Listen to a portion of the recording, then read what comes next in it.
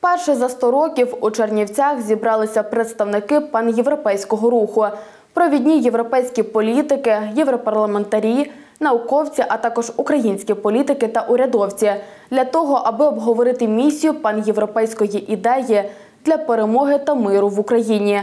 Подробиці вже готова розповісти моя колега.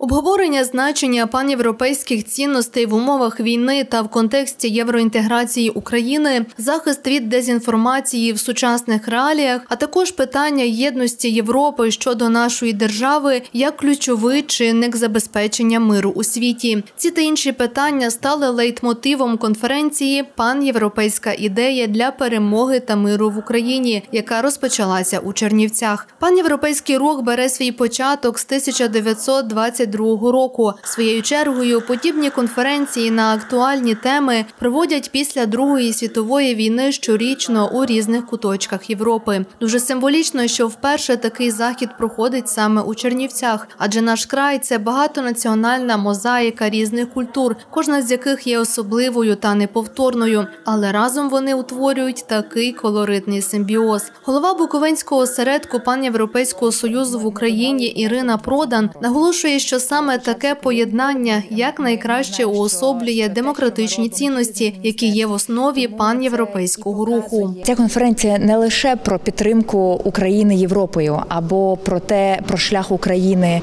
до Європейського союзу. Ця конференція є про єдність, про визнання всім світом, а також європейськими країнами е, того, що Україна це є безумовна Європа, і що Україна зараз захищає не тільки українців на полі бою, але також кожного європейця, і те, що європейці їхня підтримка, і те, що вони приїжджають приїжджають в Чернівці та Україну, е, показує наскільки вони цінують, наскільки для них це важливо, як вони розуміють, які великі зусилля Україна, українці, українські солдати та воїни покладають для того, аби захистити демократичний світ. Наразі Україна виборює свій шлях до Європейського союзу, тому проведення такої конференції, у якій беруть участь участь 150 провідних політиків Європи та України, а також європарламентарі, є надзвичайно важливим для обміну думок, ідей та пропозицій щодо шляху членства нашої держави в ЄС. І така увага є вагомим показником, як Європа сприймає Україну та українське питання.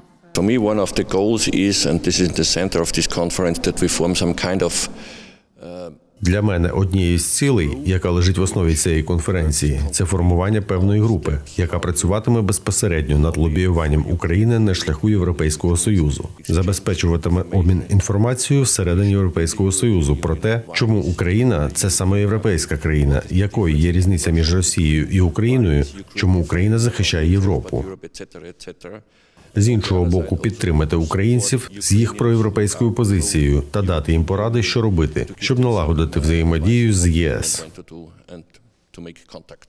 Ще одним важливим питанням, яке стоїть у порядку денному конференції, є обговорення кроків, які має зробити Україна у контексті євроінтеграції, адже надзвичайно важливо спільно напрацьовувати алгоритм дій на шляху до членства в ЄС та знаходити компроміси у складних питаннях, пов'язаних з розвитком нашої держави. Це е, розмова про те, що нам краще робити для того, щоб процес інтеграції був якнайшвидше і найоптимальніший для України, щоб е, закони, які ми будемо приймати, е, стосувалися не тільки виконання вимог Європейського союзу, а в першу чергу виконання завдань, які потрібні Україні, українцям, українській економіці, українським пенсіонерам.